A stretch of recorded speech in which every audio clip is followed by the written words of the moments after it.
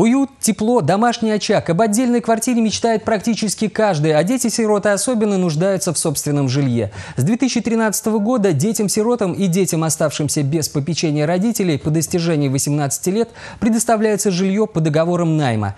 Для этого молодым людям, либо их опекунам, необходимо собрать документы и обратиться в администрацию района. Специалисты органов опеки и попечительства консультируют и принимают заявления с августа этого года. А на межведомственной комиссии решается, кого необходимо поставить на очередь для получения жилья.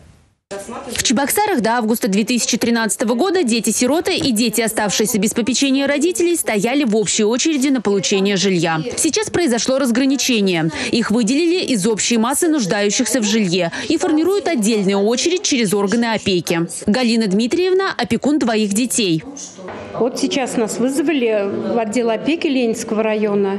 Э, пришла узнать, э, для чего. Объяснила Надежда Георгиевна, что постановление вышло э, по обеспечению детей-сирот жильем. Показала, какие документы нужно собрать. Сейчас Надеюсь, что поставят на очередь.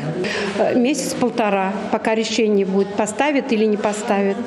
После получения заветной квартиры первые пять лет невозможно совершать любые операции с недвижимостью. Это сделано для того, чтобы уберечь молодых людей от мошенников. В каждом районе города созданы межведомственные комиссии. Они занимаются постановкой в отдельную очередь на получение жилья детей-сирот, либо их представителей. В Ленинском районе города Чебоксар, говорят, не все заявления рассматриваются положительно.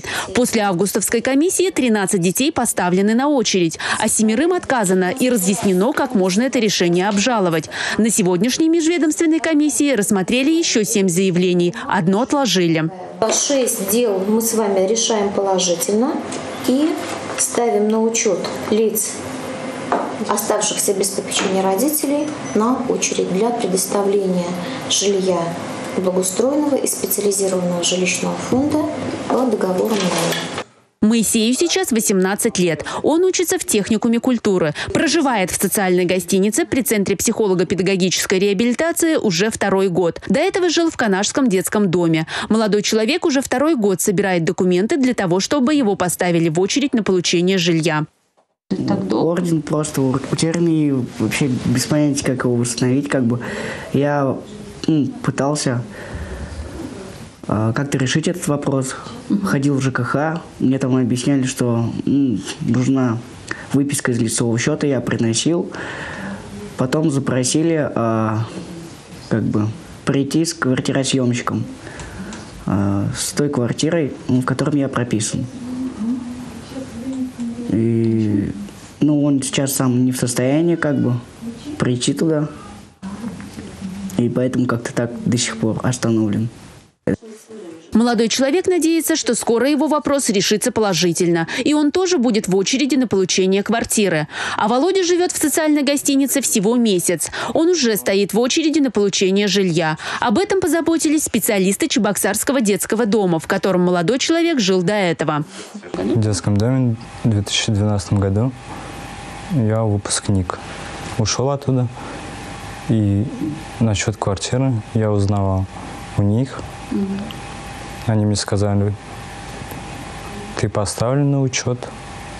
И они сами собирали документы на квартиру и сами отнесли туда. Обещали предоставить в этом году жилье. Возможно, после создания районных межведомственных комиссий дела этих и других молодых людей, нуждающихся в жилье, будут продвигаться быстрее. И они все-таки получат ключи от собственной квартиры. Татьяна Трофимова, Андрей Спиридонов, Республика.